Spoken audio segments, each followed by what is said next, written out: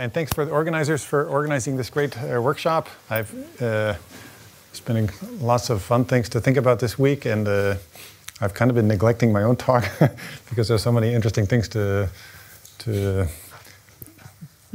think about. Uh, so it's going to be kind of an elementary thing, hopefully not too elementary, but uh, uh, let me just tell you how it came about. We were working on the random tilings, random tilings uh, with Cosmin. By the way, this is joint work with my with a postdoc Cosmin Pohoata at Yale. Uh, we were working on random tilings, and uh, then I, I give a talk about the random tiling model, and uh, uh, in particular, there's this multinomial random tiling model, which I'll mention later on. Uh, and then there was a physicist in the audience, I forgot who it was, but he said, why don't you try to do the same thing for the Ising model? And so, uh, somewhat simultaneously, I got an invitation to come here to the 100 years of the Ising model. So then, this is what came out. Uh, feel free to interrupt me with questions. I, am sure you won't be shy. I'm a little bit uh, uh, shy about this talk because I don't feel like it's no, certainly not as sophisticated as most of the other talks that we've heard recently. Oh boy. Uh, how am I going to do this? Oh, yeah. So, uh, just for some definitions, uh, I've got a finite graph G, and I'm going to define a general, quite, this is a, I want to generalize sort of all of StatMech at the same time, okay? uh, let me just start, start with an M spin model, right? So I've got M colors, uh, my configuration space is the, Have to figure out which one is the pointer, right? So I've got the, uh, the configurations are just uh, colorings of the vertices with m different colors, or if you like spins, and I've got a general interaction matrix, m by m interaction matrix, positive, uh, uh just not positive necessarily, but just real numbers. Theta is the inverse temperature. There's the Hamiltonian, it's just a, uh, you sum over the, it's just a nearest neighbor model. And then the, you know, the contribution from a pair of spins is just the corresponding entry in the matrix. And since I was giving this talk to non-physicists, uh, I, I just threw out both minus signs. Okay, so the, any questions about the model? Nearest neighbor, but like I said, it doesn't have to be nearest neighbor. You can generalize this uh, however you like. So how do I get to the next slide? Okay, of course, the, the, okay, fine. If you can't read, just let me know. Uh, the Potts model is, of course, the interaction matrix is just a multiple of the, of the identity matrix, J times the identity matrix. If we're talking about the Ising model, it's just a two by two, there's just two colors, all right? Everything else, I think, is clear. Uh, now, here's the trick, here's a very simple trick. Uh, I'm going to, you know, blow up my graph right? So here's my original graph G. I'm going to make a new graph G sub n, where n is some large integer. Uh, and I'm just going to take the vertices, multiply by n, right? So I've got n, replace each vertex with n copies of the vertices, and for each, for each edge, for each edge downstairs, I'm going to put this just a complete bipartite graph. Okay, very simple. Uh, okay, and, and uh, let's just, let me just stick for the time being for the Ising model. It's already interesting enough. Uh, that's the one we care about. Uh, so the multinomial Ising model is just going to be the Ising model on this blown up graph. Question. Yes. There are other couplings between the spins on the same vertex? There's no coupling. These are not adjacent. Above, above each vertex, they're not, there's no adjacencies. Okay. All right. Uh, so that's the, so it's just the, now I'm just going to take the Ising model on this new graph G sub n, and I'm going to replace the and the interaction strength is going to be divided by n. Right, so here's, so of course, uh, this graph has lots of symmetries because above each, uh, the fiber over every point, I can, I can uh, move those points around. So really I don't, if I, the, my, I don't care about the, lo individual locations of the spins above each vertex, I just care about how many are plus and how many are minus. So I'm gonna record that when, when I, I'm computing the partition function here, right? I'm gonna record just the number of plus spins over each vertex, and let's call that variable k sub v right? So the, the, the, I get the partition function by summing over all choices of k sub v, which are integers running from 0 to n, and that represents the number of plus spins over each vertex downstairs. Right, then I get uh, some, and of course the energy here, uh, the Hamiltonian only depends on the case, doesn't depend on the individual locations of the, the spins because of the symmetry.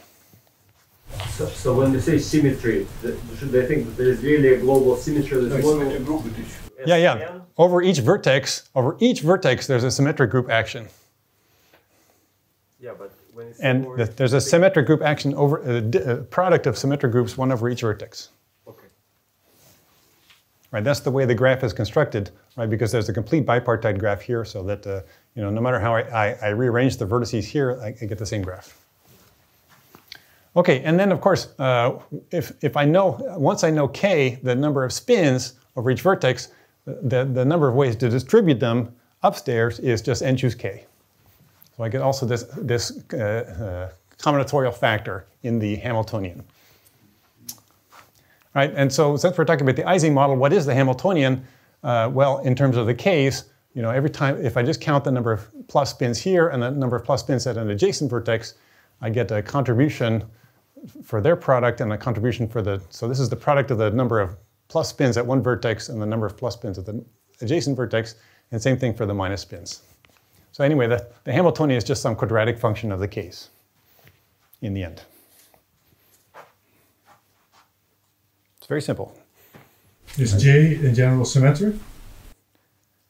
Uh, I, I just decided to stick with the Ising model where J is just a, co- a constant.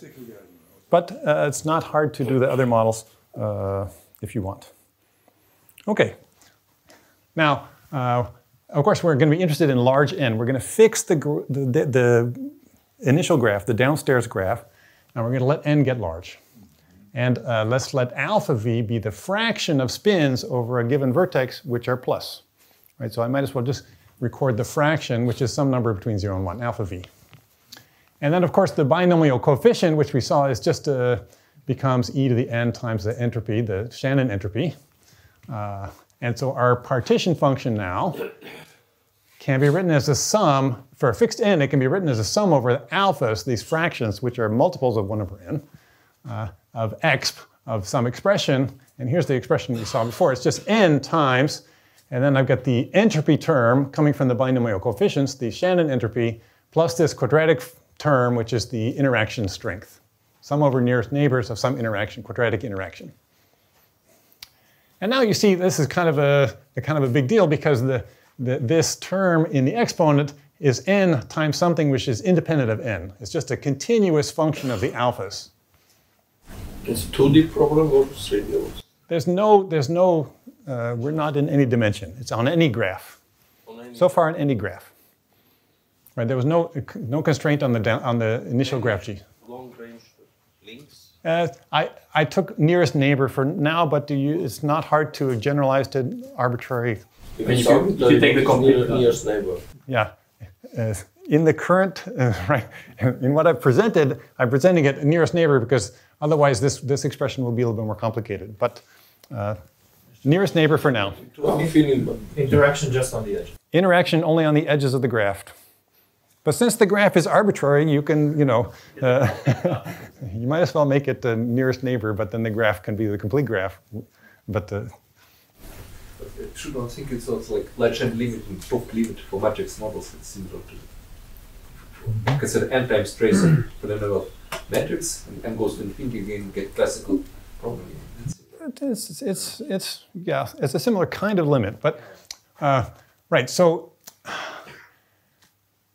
here's an expression for z, z, z the, part, the, the partition function, right? It's an exponent of n times some function, which is a continuous function of the variables you're summing over.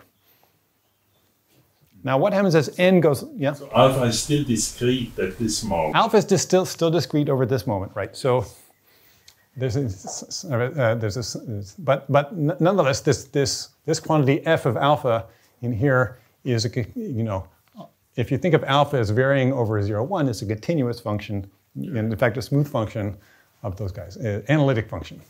And uh, if we want to if we want to take the limit now as capital N gets large, right? We're gonna we're trying to we're interested in the sort of the free energy log log z divided by n, n goes to infinity. Then of course you know uh, this n is the important thing. As n gets large, this, this exponent is going to concentrate, this sum is going to concentrate on the maxima of that function f. Right, so eh, that's, what the, that's what the box is. So, so, so the point of, you know, in order to compute the free energy here, all we need to do is find the maxima of f. And so what, what's the magic of this uh, you know, multiplication process is that we've turned the, this annoying summation problem, this impossible to do summation problem, into a simple maximization problem. Right, so, so yay, calculus. Now we can do calculus, multivariable calculus. Uh, but you know, we get more. Uh, we, we're not just interested in the free energy, of course, we're interested in the you know, fluctuations around the, around the typical behavior. And uh, what, but you can, you can also analyze the fluctuations in, very, in a very similar way, right? Because uh, when n is large, almost all the mass of this, you know, when you normalize to make this a probability distribution, almost all the mass is located near the maximum. And in fact, the behavior is governed, well, that's what I'm right, explaining here. The fluctuations in the alpha vectors are governed by the shape of f near its maximum. Uh, almost all the mass hap is happening in a, in, a, in a neighborhood of the maximum or maxima of this function f. And generically, if we're lucky, if we're not unlucky, I should say, the Hessian of f at the maxima is a negative definite, you know, and uh, matrix, and that means that the the fluctuations, the actual values of the spins, the, the fractional spins, are just a, a Gaussian field, some multidimensional Gaussian with a covariance determined by the inverse of the Hessian, right? The, the, the quadratic approximation to f near its maxima. So we get this Gaussian, uh, in some sense, Gaussian behavior for free uh, just from the, from the expression of this type. But uh, that, that depends on this Hessian being, uh, you know, non-degenerate, negative definite near the maximum. And in fact, that doesn't always happen. Uh, but uh, so let's, let's, let me prove a few small things about this behavior. any questions?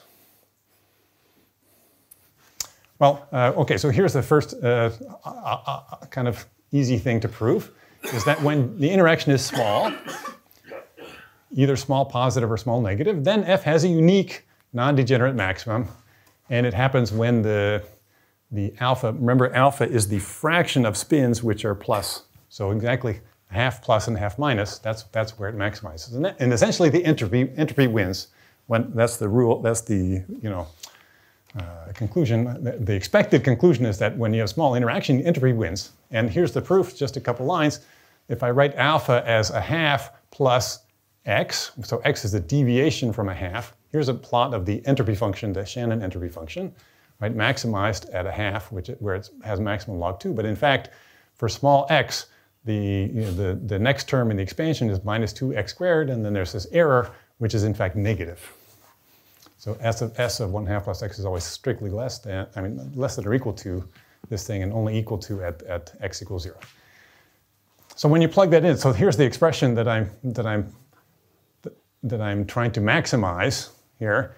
S, the s is, and, and both terms are maximized. When j is small, s is maximized at uh, alpha equal a half, and this one is just adding a small quadratic uh, change to that. So in fact, the f, when you expand near small x, you just get some constant, and then you get this interesting uh, quadratic piece to the expansion. Then there's some errors, which are negative. And uh, as long as this, this uh, the quadratic, this matrix here, 2 times the identity minus j naught times a, a is the adjacency matrix of the graph. Why the adjacency matrix? That comes from this term here, I just got the nearest neighbor interaction on this graph. Uh, as long as this, this matrix is, non is uh, positive definite, then f is actually maximized when x equals 0. Okay, so uh, th this is this is going this and when is this non-degenerate and positive definite? This this uh, well certainly when j j naught is sufficiently small, this will be close to the identity and therefore it'll be you know positive definite. And in fact, the, the, it, it works all the way through the range. Uh, depending on the, the range is just the, depends on the spectrum of the adjacency matrix A. So as long as 2 over j naught is not uh, inside the, the spectrum determined, I mean, the, the interval of the spectrum of A, then the, you get this uh, non-degeneracy. Question. Yep.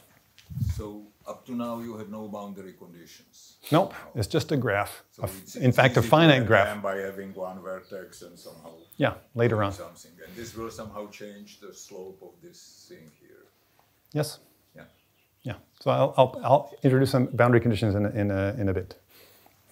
But yeah, got any more questions?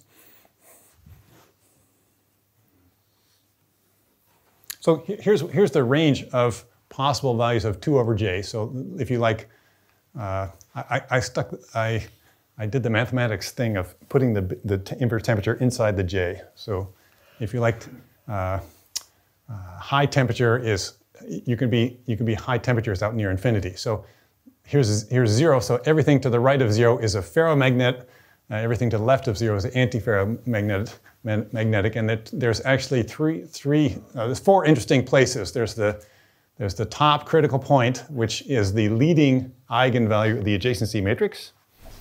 I don't understand the anti-ferro because that depends on whether your graph has frustration. Yes. Right, but the anti, right, but the, the, the spectrum also depends on the wh- whether the graph has fr- frustration as well. Yes, I mean then it could become much more complicated. Absolutely, absolutely. You're- You're a s- one slide ahead of me, also. okay, we'll get there. We're two slides ahead of me. So, but the, but so the, the easiest point to analyze. I mean, we analyzed the case when two, when j naught is small, which is which is the shaded the region over here and here. That where we have a nice non-degenerate, sing, just just one you know Gibbs measure, and so, but let's let's let's talk about this point, the ferromagnetic critical point first. Then we'll analyze the other regions, which are more interesting. Okay. Uh, okay. So what is lambda one? It's the leading eigenvalue of the adjacency matrix of the graph, the downstairs graph. And so, just for the sake of simplicity for this talk, let's just assume our graph is regular. So that eigenvalue is delta. Delta is the uh, degree of the graph. Then we get some interesting behavior. Then what happens? Well, uh, what happens is that uh, when you look at this expression for, the, for that function f, uh, we find that the Hessian the, at the maximum is no longer uh, non-degenerate. It, it uh, is not, no longer just a simple quadratic uh, maximum. It's got one direction, in fact, exactly one direction where the, this, this quadratic piece uh, has a zero eigenvector, eigen, eigenvalue. And what is that? What is that direction? What's the direction? You know, the all ones because we, our graph is regular. So all ones vector is in the kernel. This is this quadratic piece is just is exactly the the Laplacian of the of the graph. You see the Laplacian here, and it's got the kernel, which is the constant functions. So what happens is that the there's there's one direction where the where the Hessian is uh, not quadratic. I mean, the, the second derivative is not quadratic. And so in that setting, we have to go back to our entropy function and include the next term in the expansion of the entropy, entropy function, which is the, the degree four term. Remember the entropy, entropy function, the Shannon entropy, it's just the Shannon entropy. Where was it? Right, right here. It's got this uh, nice quadratic, quadratic part, but then there's one more term. We're going to need to include one more term in there, which is the degree four term.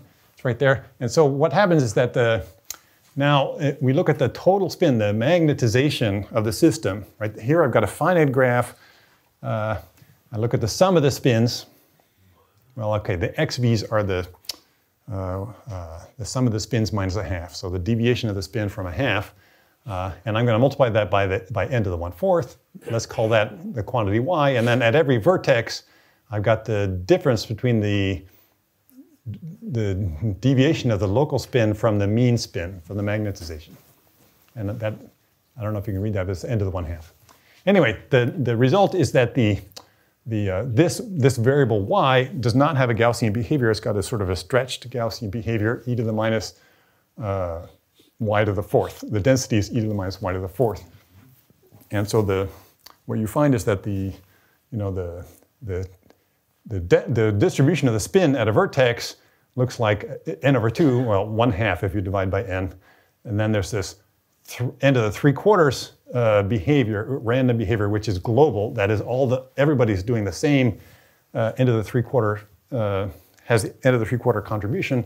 And then it's got a local contribution to, depending on the vertex, which is just a standard Gaussian free field. And I tried to indicate that with this uh, sort of schematic. You know, every vertex is, is uh, varying with respect to its neighbors at, at the scale end of the one half, but then the, the whole graph itself has a mean spin, the global spin, which has this sort of end of the three quarters uh, standard deviation, which is non-Gaussian. So that's the ferromagnetic critical point where it's, it's almost Gaussian, but there's one direction which is a stretched Gaussian. Uh, well, the other, the other interesting point is the, well, let me go back to the graph. Here, here it is, in fact. Right, the other point is over here at the anti-ferromagnetic critical point, which is always, I mean, the, the other end of the spectrum is always negative, uh, always less than zero, so that's in the anti-ferromagnetic phase runway somewhere.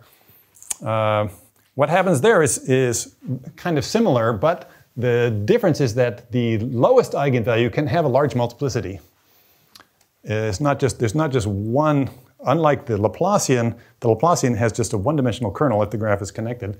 But for the lowest eigenvalue, you can have essentially an arbitrarily high multiplicity. For example, for the complete graph, if my graph is, if my downstairs graph is the complete graph, then the lowest eigenvalue, which is minus one, has multiplicity n minus one, which means that I get this high dimensional non-Gaussian component to, this, uh, to these fluctuations. But it, it, even though it's non-Gaussian, it still has a reasonably simple description in terms of some stretched Gaussian uh, uh, e, to the, e to the x to the fourth behavior. I have a question for the previous slide. So Yeah. I think I understand. I see well why this Gaussian free field appear, but the, do you have a natural explanation for the n to the three quarter? Is there a way to understand that? Or? Yeah. you want me to tell you?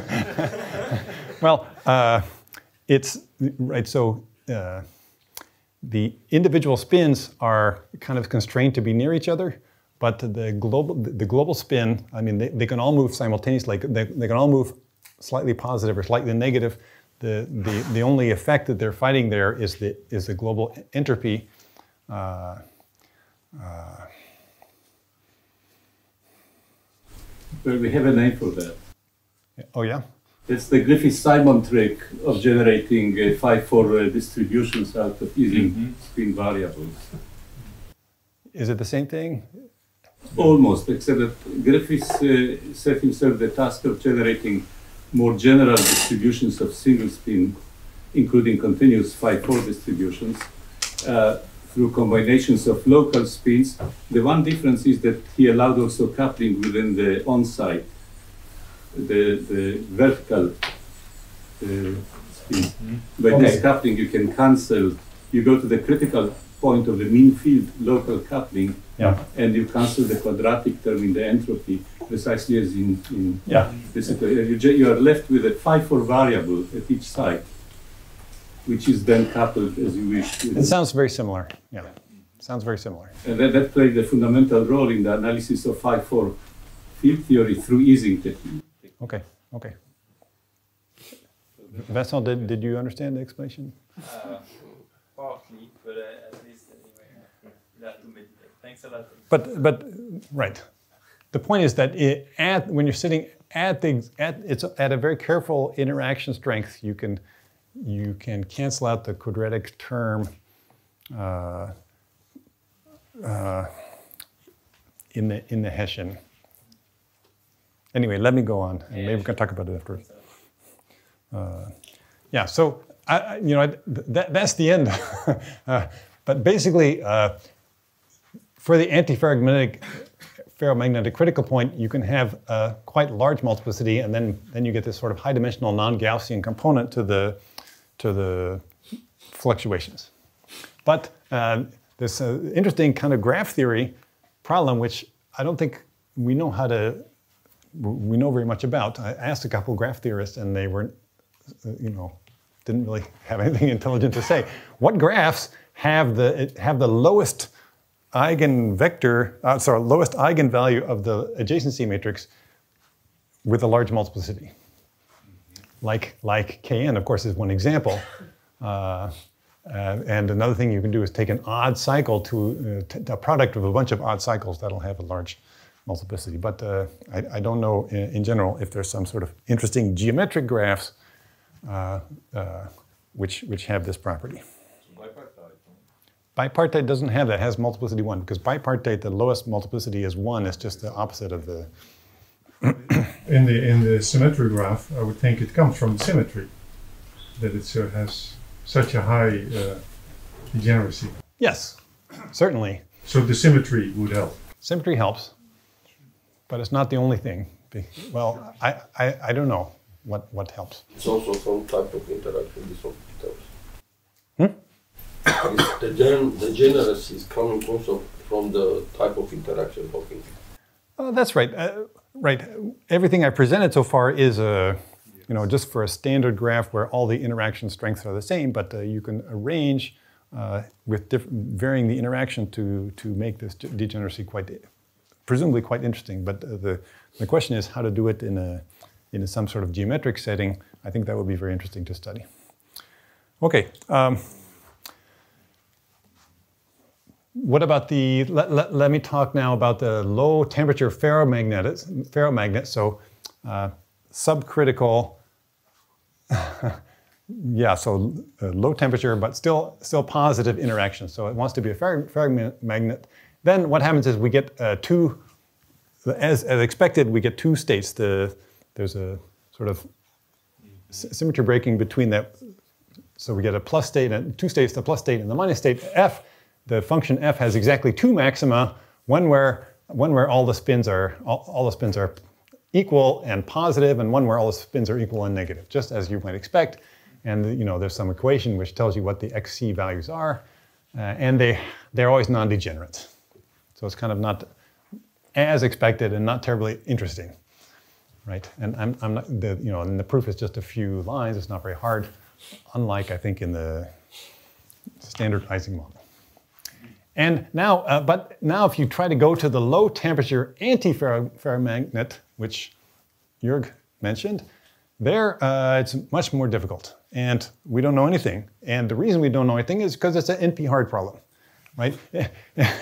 if, if you try to set, let J be negative and tend to you know, minus infinity, then you are approximating the max cut of the graph. If you look at which spins are plus and which spins are minus, that will be an approximation to max cut, which is a known NP-complete problem.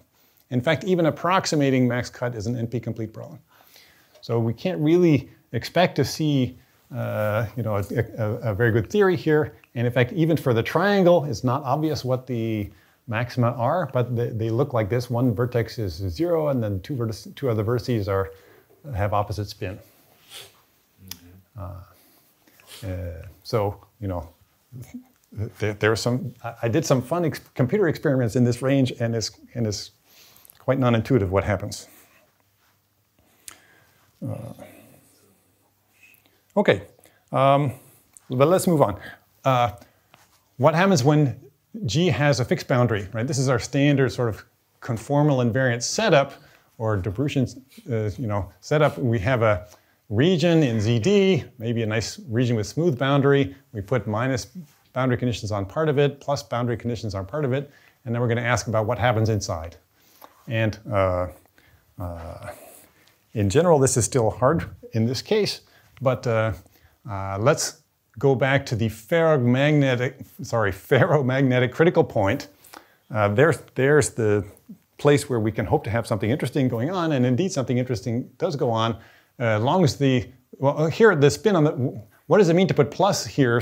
Pluses here, it means, well, of course, each, uh, each site has a fraction of spins, a fractional spin running from, you know, minus a half to plus a half, if you like, from zero to one, the fraction of plus spins, yeah.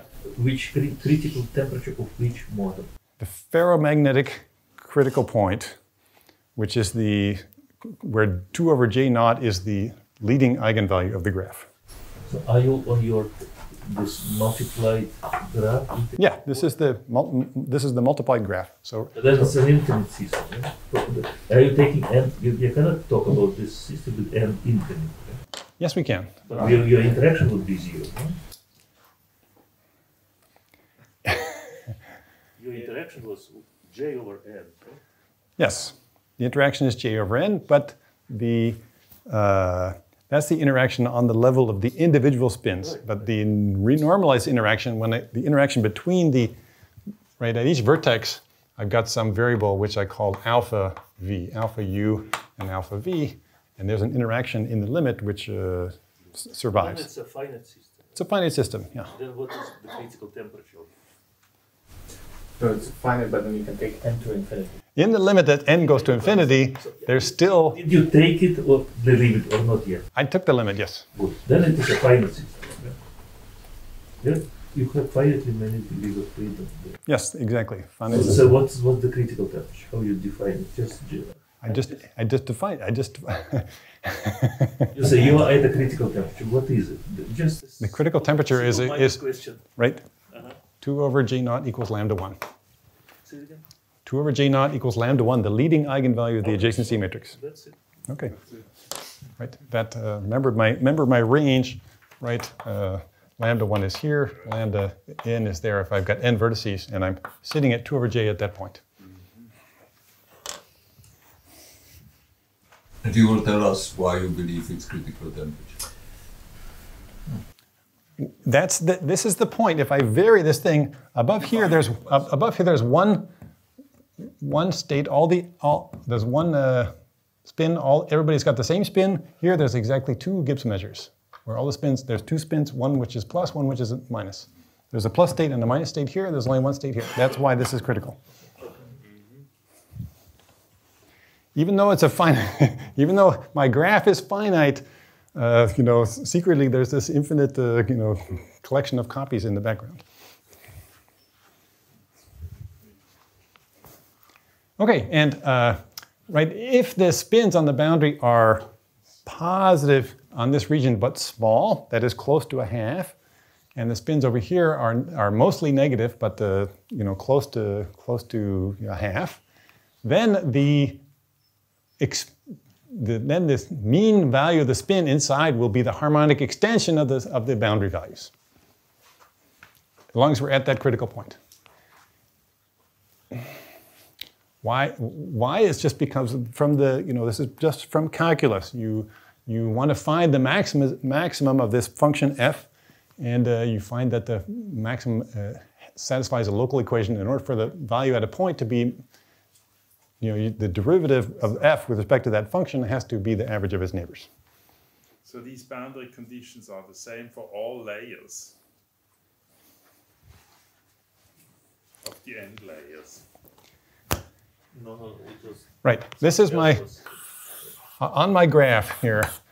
I have some some boundary values, and the boundary values are x, Zero and one. x, x, x v's, which are somewhere between zero and one, and I'm taking them all close to a half, and then taking them to a half plus some small some, some small error. Sorry, the alpha v's were a half plus some small small x v's, small. And on, on part of the boundary, they're small and positive. On another part of the boundary, they're small and negative.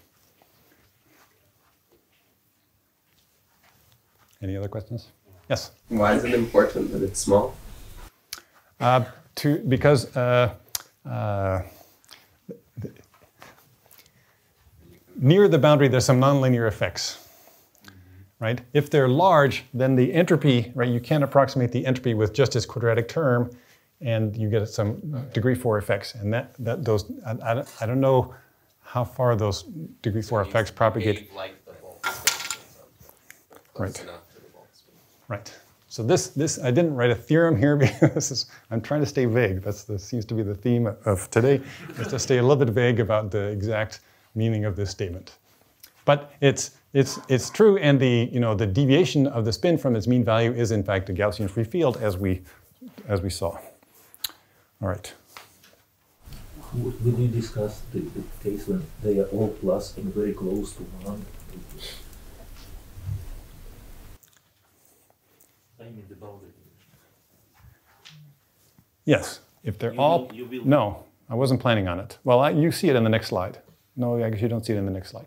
But if, but if the, if the boundary conditions are all plus, then you will converge quickly to the, con, the to the plus phase, mm-hmm.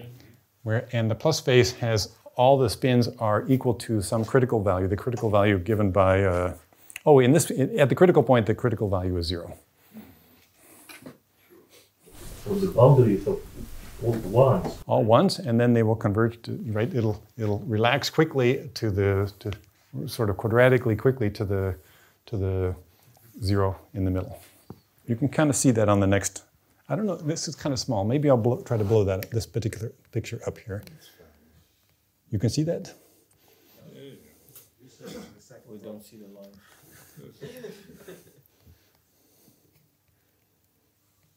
Where did it go? Okay, down here. Yeah. Now, so here I just uh, did a one-dimensional. This is a one-dimensional system, just a, a segment, right? That's kind of a for the usual Ising model, it's kind of boring, but for the segment, for this multinomial case, it's kind of interesting. Uh, here's the phase, sort of phase diagram uh, in terms of. So here I'm at the. Uh, low temperature ferromagnet, which means that there's two states. There's a plus state and the minus state. And you can see the, you know, minus state here, plus state here. And what I, what did I did what I did was I just took a system uh, with boundary conditions on, on one side of the boundary, it's plus, I fix a plus value, and the other side of the boundary, I fix a minus value. This axis is the is I guess the uh, right boundary, and this axis is the, the left boundary. Well, uh, uh, uh, after a sign change, or maybe I got them backwards. It doesn't matter. You can see the boundary conditions on the plot. So, uh, and what happens is that, of course, if uh, you know, if one of the boundary conditions is is bigger than the other the, the other is negative. That is, the one on the left, the, the boundary value is higher, has larger absolute value than the negative boundary value has in absolute value. Then it'll be, then the plus spin wins throughout almost the whole domain. Right, that's, so this, this line is where the two, here on the left is positive, on the right is negative, and they may, but in terms of absolute value, one may be larger than, than the other. And there's something interesting going on over here when uh, there's, there's some sort of critical value where uh, when you get when you get when both spins get beyond the critical value, they, you get this interesting uh, jump, which floats right in the middle of the of the plot, which is a Dobrushin phase. That's what it looks like to me, at least. Right? You know, the system goes this. It has to get from here to here somehow, and you know, it, it likes to be at either at the plus state or at the minus state, and you know, it, it could jump all the way down to the bottom, but it gets stuck in this plus state for a long time, and then somewhere in the middle it goes down, and then it continues along with the minus state there. Here, Rick, is there by any chance this window where it jumps has to do with the three quarter exponent? Because somehow it's you're exactly in the realm of this law. No, the three-quarter exponent is only at the critical point. This is not the critical point. This I'm in the subcritical phase. Sub. This is the low temperature phase. Low temperature phase. Yes. As a function, you said that it was on an interval, the Yes. original graph. As a function of the length of this interval, can you get some estimate uh, about the width? The width doesn't depend on the length of the interval. This is it just like a final? The width only depends on the temperature. Yeah. So you can imagine the width being, you know, going to infinity, and this this this phase remains. Yes. It's a bit strange that this jump is localized exactly in the middle of the interval. I mean, there's nothing holding it there. Except Except that you need to. Yes, that's right. This is very mysterious. But remember, what, what we're doing is we're maximizing. It's just a calculus exercise. We're maximizing a certain function, and uh, if you try to push this even a tiny bit over to the left, it'll be a tiny bit smaller. uh, eh, and therefore, you know, the maximum really wants to be right by this, the symmetric point. In that setting, what is your graph G? Now, It's just a segment. a second. Yes. Is it constant, this function in between the middle and the endpoint? Uh, it looks It's constant, constant with an it's not exponenti- exponentially small factor. It's a small function, okay. Right, but that exponentially small factor actually plays a role. Otherwise, it wouldn't be uh, But it's not entirely constant. localized. Yeah. it wouldn't be localized in the factor. It's exponentially close to a constant. It's kind of a weird uh, setting where this exponentially small quantity really pins it down the. And, and you say exponential in what? In the, the length of the graph, or Yeah, in the in the length of the graph. That's right. Okay. Uh, how are we doing on time? In those pictures, M capital is already infinity or very large. This is a infinity. Let's say if you if you run I know Glauber dynamics for n large but finite, I guess you'll see this boundary moving. Uh, Yes, that's right. It'll move a tiny bit, but uh, very. That's extremely slow, sort of exponentially slow, metastable. Uh, right. If I started somewhere over, it's a metastable thing. It takes an infinite, I mean, exponential amount of time to to equili- equilibrate. Let me go on because. Uh, uh, To answer your question, you've got a little bit more than 15 minutes. 15 minutes. Oh, great. Uh, should I go back to, should we stay with the one page mode here? Oh no, this, I can't scroll this way. Maybe I can scroll this way. No. You push the page down. Okay, so let me, other StatMech models have this, can you can play the same game with, right? It was somewhat successful with the Ising model, not completely successful, but the, uh, let me tell you about the reasonably successful model, which is the random tiling model. All right, and uh, uh, again, it starts with a finite graph, uh, and I'm going to. I have a set of tiles. What's a tile? It's just a set of vertices. Any set of vertices can be considered a tile, right? And uh, I can still make this graph g sub n, right? My blown up graph. Right, if you want to think of it as a tiling problem, you know, I can take some, you can think of my original graph as some sort of grid, and then maybe my tiles are, you know, L shapes or, or something like that, right? A, a tile is just a subset of the vertices of the graph. But then I'm going to blow up the graph uh, and let omega n, there are going to be tilings of the blown up graph with lifts of the tiles that I'm using downstairs. So what does it mean? That it's essentially I'm, I'm tiling the graph downstairs, but covering each vertex n times. It's like having an n-fold covering of the graph with my tiles, copies of my tiles. And if you like, I could put some weights on the tiles just to add some parameters into the problem uh, so that the any tiling, do, do, you, do you understand what I mean? Tiling of GN? Uh, the, in the lifted graph, every, every tile T, which is a tile of the downstairs graph, can be lifted into the upstairs graph in many, many possible ways. I just have to pick for each vertex in my tile, I have to pick one of the vertices in the upstairs graph, which, which it's, it's, it's being part of. All right, so then uh, omega n is a set of tilings of this graph with lifts of my tiles. Uh, and uh, then I have a weight, right? A weight function, which is just the product of the tile weights. And I got a partition function, which is the sum over all configurations of their weight. What? A tiling means a complete partition of the vertex? Yes, a partition of the vertices into tiles. So if you, uh,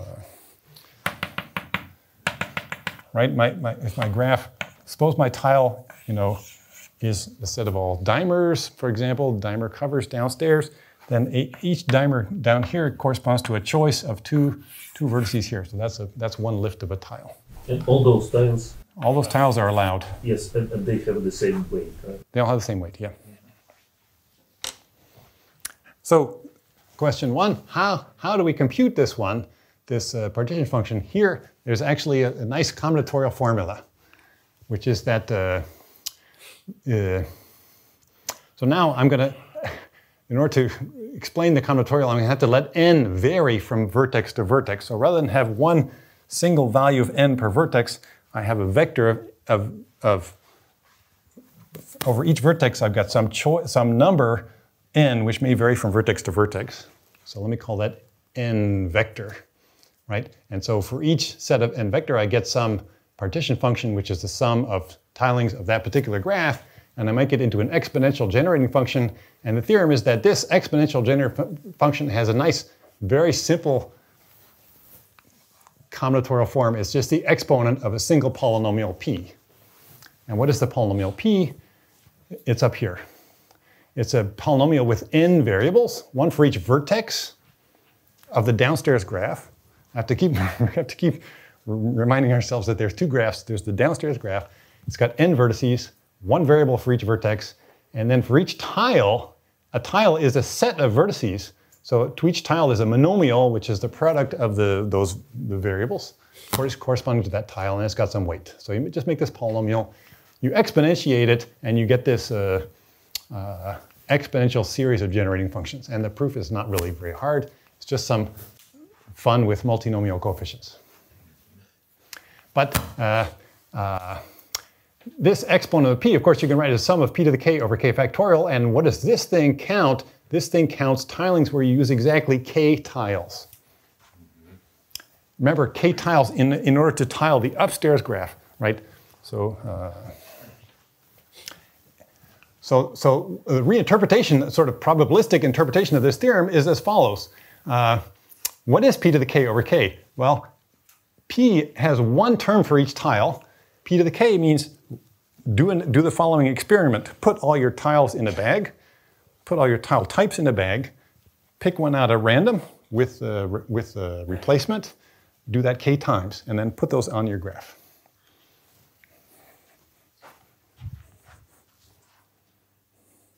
Okay, so forget that slide. Let's just go to this slide. Here's, here's the game.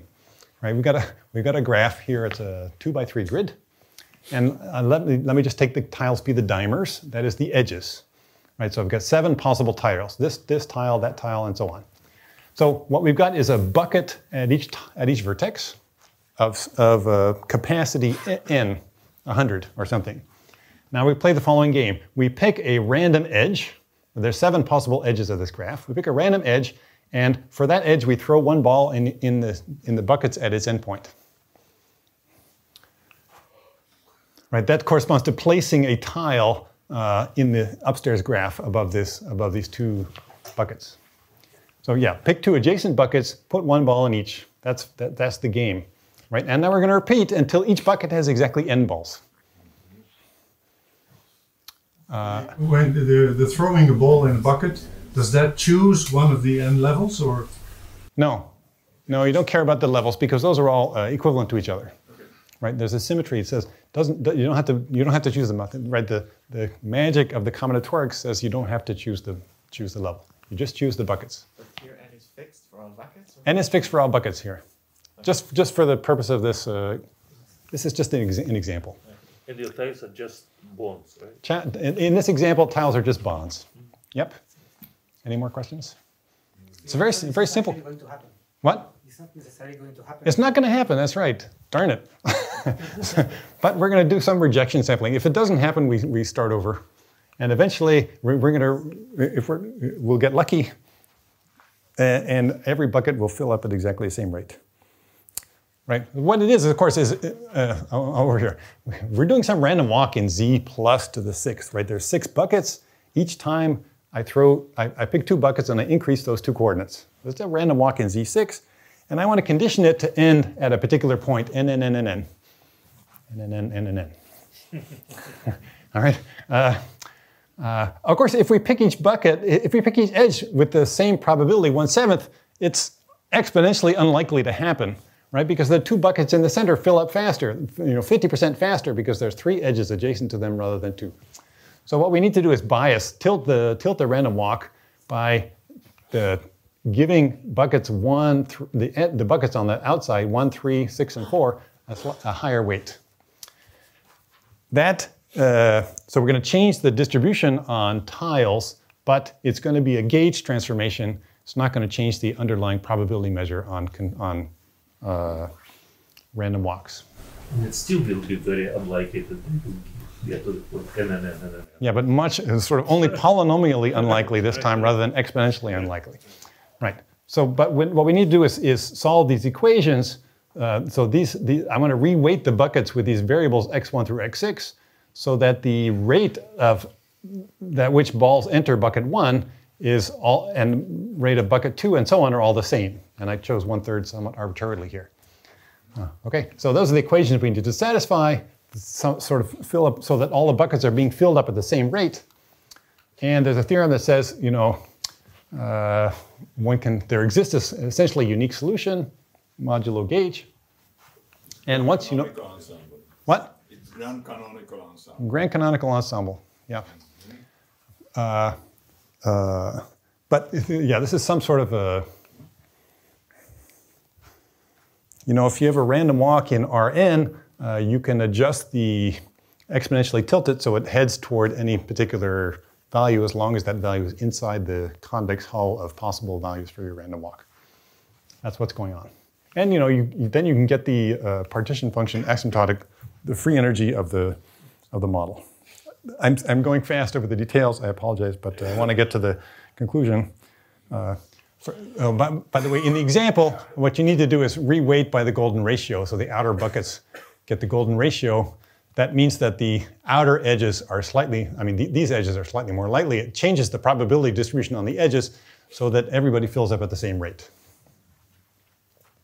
Which is great, but as Senya pointed out, we still need to arrange that all this, that this polynomial factor that they all end up at the same place. And so if we look at the fluctuations of how many times we place each tile, uh, well, uh, of course, it's just going to, the number of times we place each tile is a binomial distribution, which converges to a Gaussian random variable in the limit. But then we need to condition the Gaussian to lie on a particular subspace where all the buckets get filled up at exactly the same time. But that's okay because when you take a multidimensional Gaussian and you restrict it to by this lie in this linear subspace, it's still Gaussian. So at the end of the day, we get a Gaussian field for the number of times we use each tile. That's the so the should I read that? After placing k tiles, each tile is placed a binomial number of times, just because we're doing essentially coin flips to, to place each tile, and it has a given mean. For large k, this tends to a Gaussian random variable. We then condition that Gaussian to lie in the subspace, and what subspace is it? It's a subspace which guarantees that we end up at a given at our given location. All the buckets are filled up at the same time. That's again a Gaussian. So uh, the conditional Gaussian uh, is again a Gaussian with a new covariance structure, a new and interesting covariance structure, uh, which uh, you know it's not so it's not so important what it is. Uh, you can write it down explicitly. Why did you snort? it's just uh, new and interesting covariance structure, but you're not going to say what it is. Okay, I'll tell you what it is. Okay. it's a projection matrix. The, the covariance, so what are these variables? Let me tell you what the variables are. It's the number of times I'm placing each tile. Right? In this case, there are seven possible tiles. I want to know what the probability is. I, I, you know, uh, I know the I know the expected value of each tile, but the actual number of times I place each tile when n is large is some Gaussian. And it's a Gaussian field. And I've normalized it by dividing by square root of k. Subtract the mean value divided by square root of k. Then the covariance between these variables for two different tiles is a certain projection matrix, given by a certain projection matrix to the kernel of this operator d, which I didn't talk about. D is the adjacency, the incidence matrix between tiles and vertices. In this, in this theory, there's an operator D, which is just the incidence matrix between tiles and vertices. So it's one or zero, depending on whether the vertex is in the tile or not. There's also a tiling Laplacian, which is the, you know, D, D star, when D is this incidence matrix. Uh, okay, so great. Now uh, let's just get to the pictures. So I got a couple of minutes left. Uh, here's my, uh, I won't do the simplest example, but here's the next simplest example maybe. I'm going to tile the plane Z2 with copies of the L triomino, the polyomino consisting of three vertices, you know, 0, 1, and i. And I'm going to put for the purposes of this, I'm going to put a small density of monomers as well. Epsilon. uh, So a a monomer has a weight epsilon. Uh, otherwise, I get a slightly degenerate. Uh, then, otherwise, I have to worry about boundary conditions. And if, if I don't want to worry about boundary conditions, I can just put in the small density of monomers. Then you can go through the, this uh, linear algebra really to compute the covariance matrix between tiles. And by translation invariance, I just need the covariance between a tile at the origin and a tile at s comma t. And it turns out to be this quite interesting kind of uh, Fourier coefficient of uh, a rational function. 1 over some polynomial which you can recognize as being constructed from the two, two types of tiles. And when you work that out, this, this uh, Fourier coefficient, has, it's 1 over, the denom- denominator here has a 0 on the unit torus. Non-trivial 0 on the unit torus, which means that something interesting is going on. The, and, you know, there's, there's a Bessel function times some periodic function, cosine 2 pi over 3 times s minus t. Th- th- Here, 0, 0 is, at, here, these are points in Z2, the covariance of two, tile, two, two of these L-type tiles, one at the origin and one sort of at S comma T. And what you see is that, you know, when epsilon is quite small, you see this sort of periodic structure appearing, which sort of decays with distance uh, away from the origin, right? I put one tile at the origin and then the, the, the, the here the orange means positive correlation, covariance and blue means negative covariance. So I put a tile at the origin and then these tiles around it are suppressed except along this diagonal. And then th two, three diagonals away, they're also, uh, what's the opposite of suppressed? In the, in the second formula on this where epsilon is, is there epsilon? There's this one No, no, no, second formula. in the second formula. Down here, there's log of 1 over epsilon. One.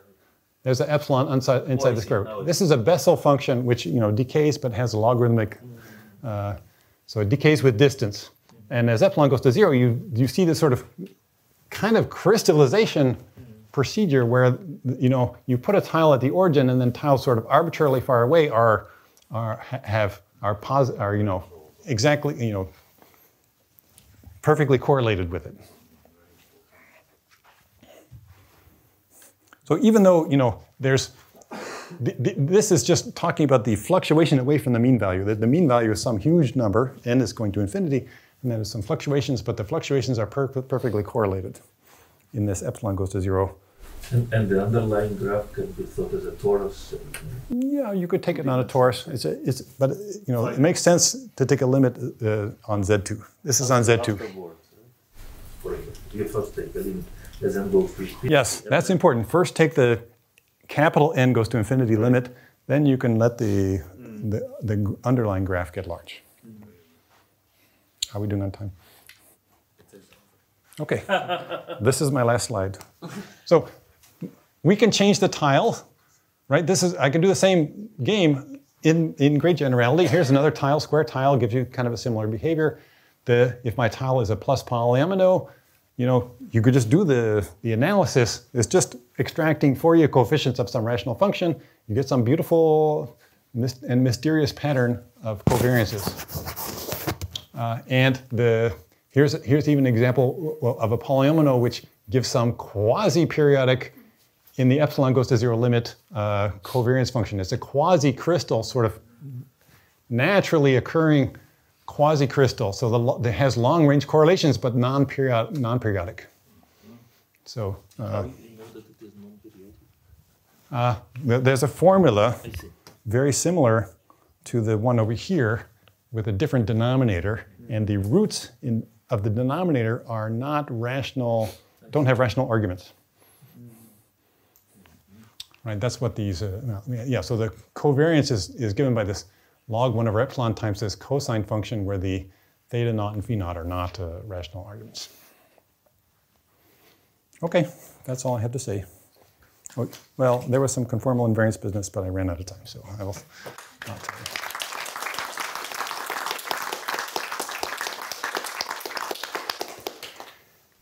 A quick question or two. In the first part, uh, when you spoke about the Ising model, I suppose the, the transition is, is mean field, is classical or not? From the, the fact that you maximize. Yes.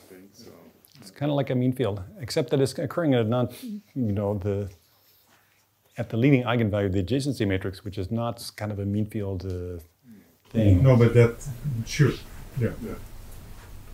But it's ex- your formula was 1 over L logarithm Z was exact somehow, so, and it was not, not mean field. It looked, the right hand side looked like mean field, but left hand side is not mean field. Okay. I don't know exactly what the formula you're When to. you write, to- when you wrote the formula at the beginning where you replace this, you know, where you introduce this N. Yes. Yeah, this a lot of copies. And then you were saying that here is partition function of the original model.